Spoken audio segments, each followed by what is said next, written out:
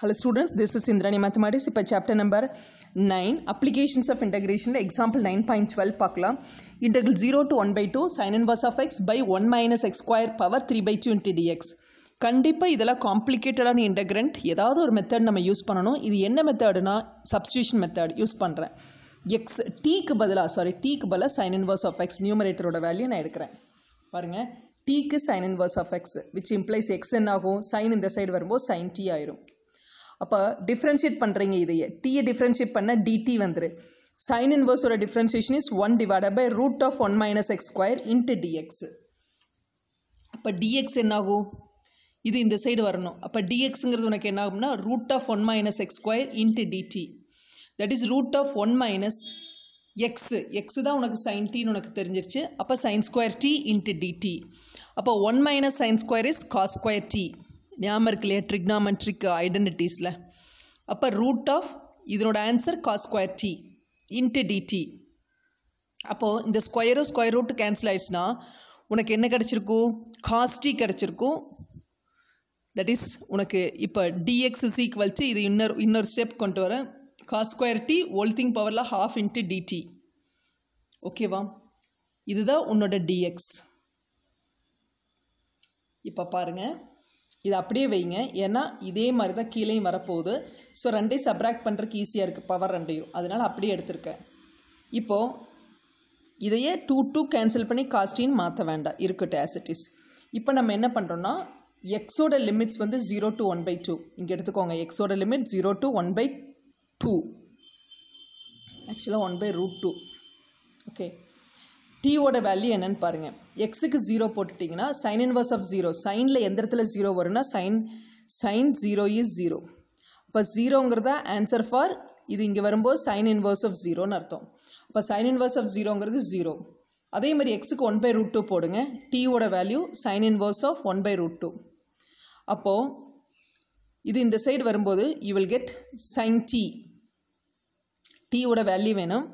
அப்போ sine t is equal to sine டியோட value one by root two அப்போ sine டியோட value one by root டூன்னு என்ன அர்த்தம்னா சைனில் எந்த இடத்துல one by root two forty five டிகிரியில் ஸோ இதை தான் நம்ம என்ன சொல்லுவோம்னா டீயோட value sine inverse of one by root டூனா சைனில் ஒன் பை ரூட் டூ எந்த ஆங்கிளில் வருது? பை பை ஃபோரில் வருது. அப்போ டீயோட வேல்யூ எதுக்கு ஈக்குவல் பை பை ஃபோருக்கு ஈக்குவல் இப்படி சொல்லுவோம்.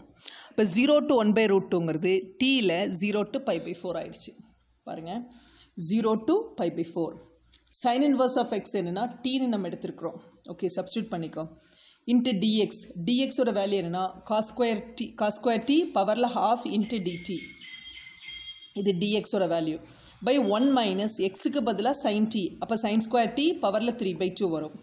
So integral zero to pi by four T into cos square T பவரில் ஒன் பை டூ இது one minus sine square is cos square ஏன்னா ஐடென்டிட்டிஸ் யூஸ் பண்ணிக்கிறோம். உனக்கு என்ன ஃபார்முலா இதுக்கு யூஸ் பண்ண போகிறேன்னா sine square t plus cos square t that is equal to ஒன்று அப்போ ஒன் மைனஸ் சைன் ஸ்கொயருங்கிறது காஸ் ஸ்கொயர் ஆயிரும். ஸோ காஸ் ஸ்கொயர் டி பவரில் three by two into dt so zero to pi by four இங்கே cos square one by two அது கீழே கொண்டு வந்துட்டோம்னா ஏன்னா இது ரெண்டினுடைய பேஸ் வந்து ரெண்டு சேமாக இருக்குது. பவரை சப்ராக்ட் பண்ணுறோம் அப்போ மேலே டி இன்ட்டு டிடி இருக்கட்டும். கீழே காஸ் ஸ்கொயர் டி பவரில் three by two minus one by two three by two minus one by டூனா டூ எல்சிஎம் எடுத்துட்டிங்கன்னா த்ரீ மைனஸ் ஒன் வந்து டூ டூ பை டூ வந்துடும் அப்போ டூ பை டூனா இது ரெண்டு கேன்சல் ஆயிரும். அப்போ உங்களுக்கு என்ன ஆகும் integral zero to pi by four T into dt வந்துருச்சு. இது இது கேன்சல் ஆயிடுச்சுன்னா காஸ் ஸ்கொயர் டினாமினேட்டரில் காஸ்னா one by cos square that is call secant square T into dt so இதை இன்டகிரேட் பண்ணணும்னா இப்போ இன்டகிரேஷன் பை பார்ட்ஸ் யூஸ் பண்ண போகிறோம் யூ வந்து என்ன? It is nothing but T algebraic function எடுத்துக்கிறோம். யூவை டீன்னு எடுத்துக்கிறோம். டிவி என்னாகும்னா ரீமைனிங் இருக்கக்கூடியதெல்லாம் டிவி அப்போ இது யூ இது ஃபுல்லாக டிவி அப்போ integral dv equal to integrate பண்ணிக்கிறோம் secant square T into dt integral dv என்ன ஆகும்னா வி ஆகும். Integral secant square is tan v ஆகும்.